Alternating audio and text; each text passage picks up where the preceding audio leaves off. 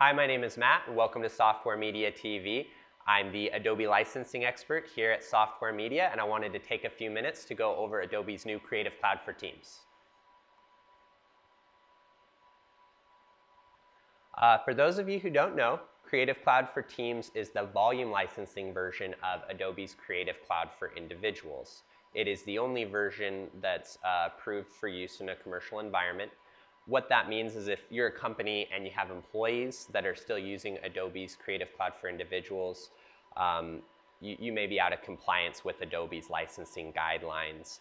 Uh, by upgrading to Creative Cloud for Teams, you're going to get all that same, um, all those same apps, but you're going to be in compliance and you're going to have access to a, a larger suite of collaborative applications. Uh, so the difference between Adobe Creative Cloud and Creative Cloud for Teams is that with Creative Cloud for Teams, the license is actually registered to your company. So when you buy Creative Cloud for individuals for a person on your team, that license is going to be registered to that person, which means that if that, that person leaves, that license leaves with them. With Creative Cloud for Teams, you're going to be able to have the ability to buy licenses for each person in your organization, and that license is still going to be retained by your company, making sure that you can uh, get the full value of resources that you're paying for. With Creative Cloud for Teams, you're also going to get access to 100 gigabytes of cloud storage per user. Um, and you know that's a ton of storage. That's more storage than a lot of people have on their personal computers.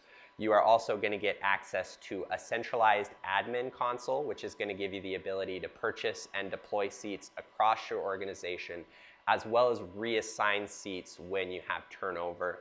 Um, you're also going to get access to file sharing and syncing, giving your whole team access to mission critical projects that you need to have a, a lot of sets of eyes on.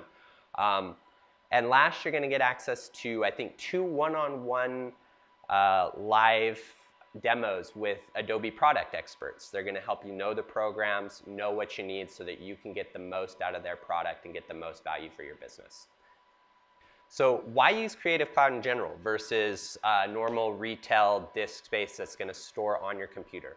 Well, for one, uh, Creative Cloud is going to give you access to all your Adobe apps across multiple devices. Um, and we've all had that problem where you're working on something at the office and you go home and you want to add a quick fix or make a little change and you don't have Adobe on your home computer. With Creative Cloud for Teams, you're going to be able to deploy your apps across all your devices, making sure that you're always working and you're always able to capitalize on those moments of inspiration. Uh, you're also with Creative Cloud for Teams going to be able to deploy your apps. And this is incredible for administrators. Rather than having to call Adobe to reassign licenses or to even track those licenses, the Creative Cloud environment is going to allow you to do that all from one convenient place, which is really just a, a shift in, in the industry as a whole. Uh, a lot of programs are moving this way, and that's because it's incredibly user-friendly. It's a great way to, to manage your company, and it's a great way to get full, take full advantage of Adobe's awesome design software. So why invest in de design resources? Uh, that's a question we get a lot here at Software Media. And, and really with today's environment, um, digital media is ubiquitous. People are interacting with you through your website, through your marketing materials, your YouTube channels, your videos that you have stored online. And if you're not investing in high quality design infrastructure, then that first contact is not everything that it can be. And you're trying to make up that ground down the road. Um, by investing in, in a really good quality suite like Adobe's Creative Cloud for Teams, you're going to ensure that that first contact is incredible and that that first contact is driving business down the road rather than holding you back and making you have to work for it moving forward. So it, it's really something that teams need to invest in if they want to stay competitive in today's environment. And that's Creative Cloud for Teams. We think it's a great product and we really hope you give it a try. It's also it for me, Matt, here at Software Media TV. Uh, if you have any questions, you can contact our full staff of licensing experts or check out our YouTube channel. Uh, have a great day and thanks for watching.